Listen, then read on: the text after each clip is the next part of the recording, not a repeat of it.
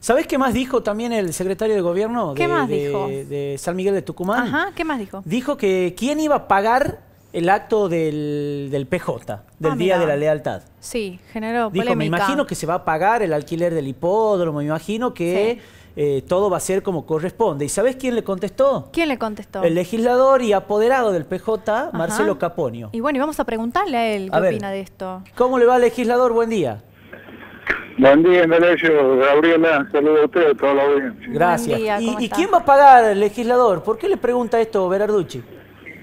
Porque Berarducci, una persona que nunca ha sido afiliada al Partido Justicialista, no se tiene que preocupar del alto Partido Justicialista. Mm. Eh, Berarducci que se preocupe de su función en la administración de los fondos públicos municipales, que se preocupe por custodiar el patrimonio de los tucumanos del Parque 9 de Julio, que han sido robados, que es este, una, una facultad exclusiva del intendente de la Municipalidad de San Miguel de Tucumán, que se preocupe Berarducci por darle servicio a los vecinos de San Miguel de Tucumán, como los vecinos del barrio Margarita, que no tienen ningún servicio municipal este, en condiciones que dignifique la vida de esa gente. El diario La Gaceta ha mostrado cómo viven esos esos vecinos este, rodeados por una laguna eh, llena de basura. La verdad que eh, Berarducci debería poner todo su esfuerzo personal en hacer una gestión para los vecinos Miguel de Tucumán, reordenar el tránsito, que la ciudad tenga este, desagües pluviales para que no se inunde y no mueran personas, en controlar la edificación de nuevos edificios, que no se derrumben.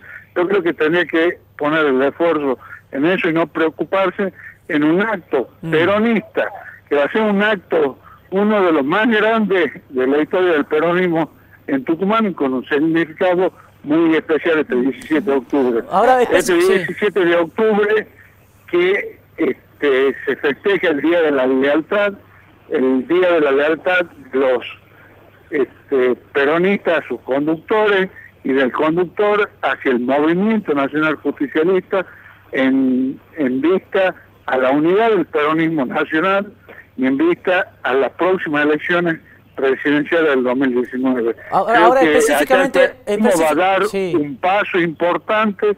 El gobernador se ha puesto al frente de este acto junto con, con el vicegobernador Osvaldo Jaldo de convocar a todo el peronismo nacional, Mm. a los gobernadores, a los referentes sindicales, a los este, senadores y diputados nacionales, a los referentes nacionales, a los intendentes de otras provincias a que vengan a Tucumán a celebrar este acto. Ahora, eso- Este- esta eso- tan importante. Eso le quería y- preguntar, eh, Caponio, de- específicamente más allá de esta de esta eh, polémica, de, de lo que sea con, con la gente de la capital o con Berarducci. ¿Cómo va la organización del acto? ¿Cómo, cómo están trabajando? ¿Y cómo, cómo lo ve a usted que, que se va a realizar el miércoles?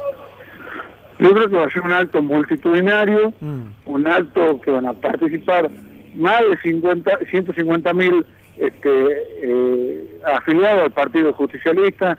Eh, va a haber un escenario que va a contener 500 dirigentes eh, nacionales que van a estar en dicho escenario y que eh, van a estar al frente de los gobernadores peronistas de, de la República Argentina, van a estar, reitero, las principales figuras del peronismo. Bien. Este es un, un, un puntapié, una convocatoria a la unidad y va a ser un, un acto donde este, se va a movilizar el peronismo, eh, las fuerzas sindicales y los referentes más importantes. Está bien. Eh, no hubo un acto de esta naturaleza en, el- en la provincia de Tucumán y es una alegría que este, Juan Mansur y Osvaldo Jaldo estén al frente de este acto en vista, eh, no hay ninguna duda, de la unidad del peronismo. Ujú. Eh, le hago una consulta. ¿Tienen un estimado de cuánto va a costar, digamos, este acontecimiento?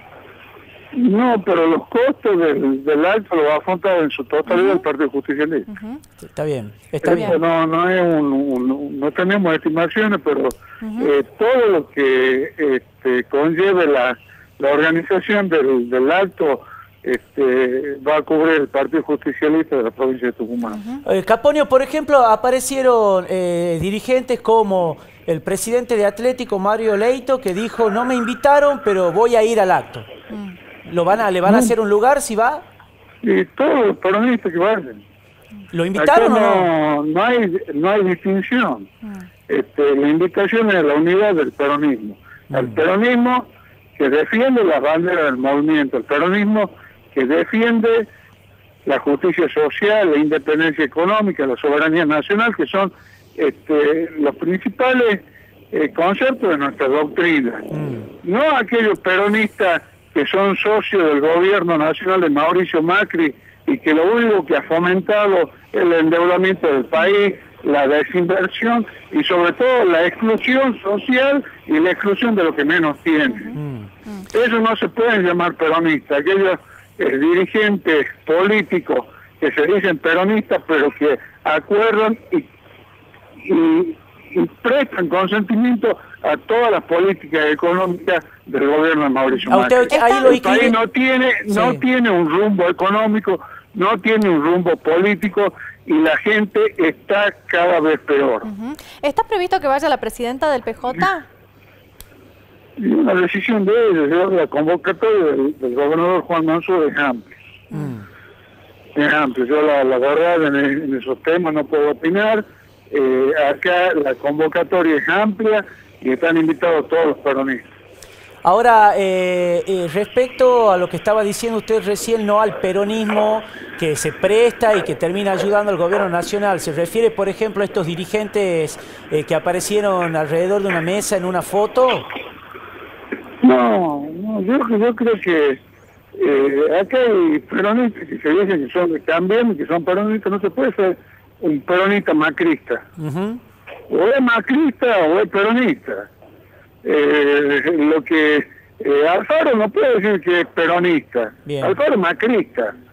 Alfaro defiende este modelo nacional, defiende la política económica de Mauricio Macri y defiende la exclusión, no defiende la justicia social. Caponio, peronista, macrista. Caponio, ¿le gustaría, ¿le gustaría confrontar en las urnas el año que viene con Alfaro por la capital?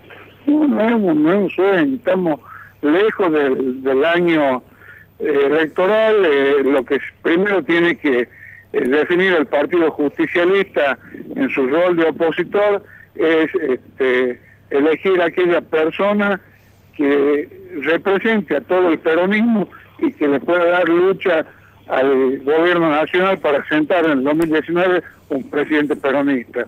Acá, reitero, lo más mm. importante es la unidad del peronismo que tiene la misma convicción e ideales. Mm. Aquel peronista que pelea por más necesitados, que pelea por una Argentina de pie, por la soberanía nacional y por la independencia económica. Eh, son conceptos que hoy estamos viviendo, vemos un país endeudado, vemos un país paralizado, vemos que los índices de la pobreza crecen, vemos que el Estado está ausente, como el Estado municipal que cada vez tiene menos presencia en los barrios de nuestra ciudad. Gracias, legislador, por esta charla. ¿eh?